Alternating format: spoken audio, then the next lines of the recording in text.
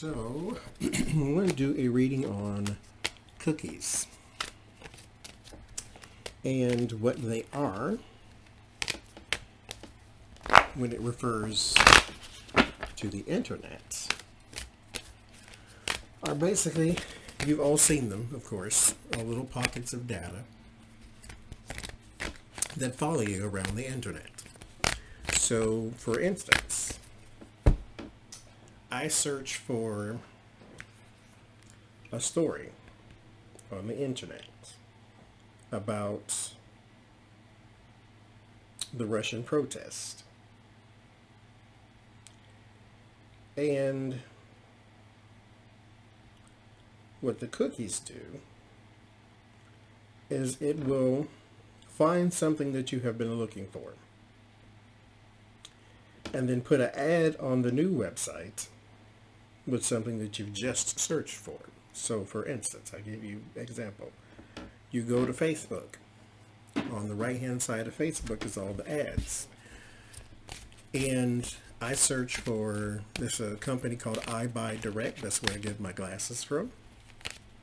So there are advertisements on Facebook for EyeBuyDirect. I go to CNN.com on that page or New York Times page and EyeBuyDirect is there too. Why? Because cookies. Cookies are just, I'm saving your information and then I'm going to display an ad on another website and follow you around the internet. So this is something Google does. They, they can turn it off at any time, but it's a revenue thing. Apple has a internet engine called Safari. Safari does not do third-party cookies. And Mozilla has a thing called Firefox. Firefox doesn't do third-party either. But Bing and Google and all these type of things do. And Yahoo. And they said protecting your privacy because this is a, a, privacy concern because like I said it follows you around the internet. If you go to footlocker.com search for shoes and then you go to the Washington Post to look at stories there's going to be a Footlocker ad on that page because the cookies have saved the information saying oh he just or she just looked at shoes. So let's do an ad on this page for shoes it follows you around the internet. So there was a proposal for them to turn it off. They said protecting your privacy would be bad, bad for your privacy. This is literally what they said. so, will they ever turn it off? Answer's no, but let's see. Now you, now it, the only benefit that I see when it comes to cookies is it saves information so that you don't have to enter it in all the time. So for instance, if you go to a YouTube and you just click on the YouTube button or you type youtube.com and your page pulls up and you didn't have to log in, cookies are the reason you don't have to log in each time it, it saves the information basically. Now you can go through and delete your cache, C-A-C-H-E, I think, and you can delete your cookie history, but it will make you sign in to everything that you have ever logged into because it deleted that information. So it's a time saver, it's convenient, and all that. So, let's just take a look.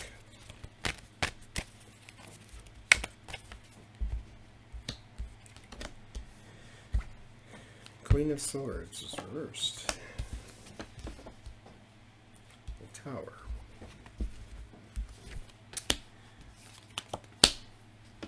Nine of Pentacles. It's money. I mean, and we know this, but Five of Cups, Three of Wands.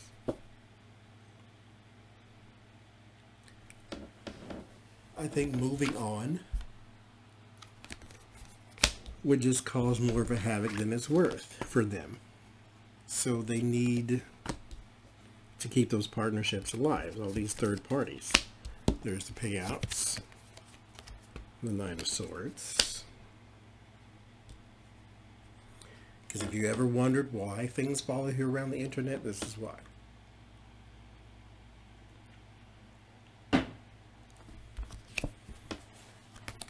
There's that money. The new relationships. Man in charge. Woman in charge. Politics. Preparations. It's a burden in the world. So they really do not plan on turning this off at any point because it causes more havoc than it's worth for them.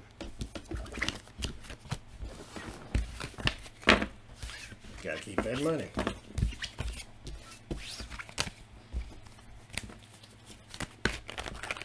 So,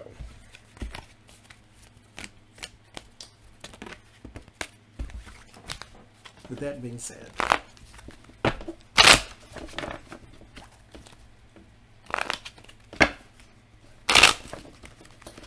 there is something called Defense Advanced Research Project Agency.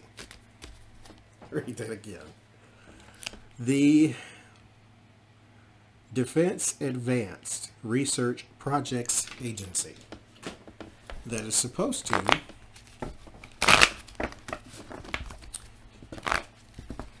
I guess sort of suss out fake news on the internet.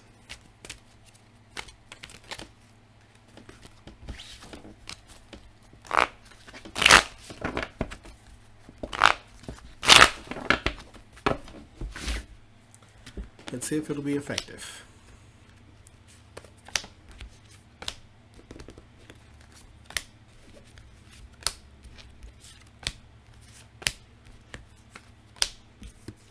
Sounds very generic but we'll see.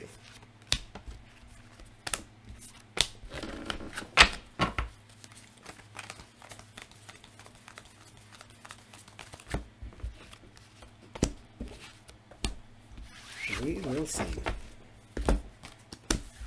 First card, Seven of Pentacles. The initial investment. Ten of Pentacles. There's the organization. Um, they do have a lot of technology on their side, so there is something going for them there, I will say. According to the article I read, like they're a lot more ahead than we think they are. And it's not just a room full of fact checkers, it's like a almost like a government agency type of thing to where they can find out things that the general public just, I guess, doesn't know. Page of Wands, news about the actions. Eight of Wands, communications. Probably finding that fake news. Page of Swords, there it is. The fake news. Queen of Pentacles. There's the America card for me. Six of Pentacles. They start with the, um, not to reveal all their secrets, but they start with the payouts. So they follow money for fake stories. Facebook is a big problem with that too. The fear is the clinging to information, maybe even clinging to partnerships, to where if you have too much of an investment in, like lobbying, you have too much an investment in one place, then you may not tell the truth about that one place. There's the hopes to kill fake news. Because this is not a Donald Trump thing. This is something outside of him. Nine of Swords, anxiety. Behind it is the Emperor.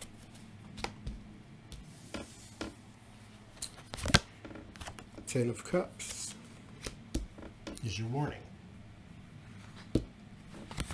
Everybody's not behind that. Don't like fact checkers, but you have a secure position. It's your solace. So, shedding light on abandonment. Giving up on something. Or maybe just a light around a new horizon. A world where maybe propaganda TV does not have... It will always exist because we have free speech, but maybe a place where it doesn't have much of a pull as it does now. The internet's such a crazy place.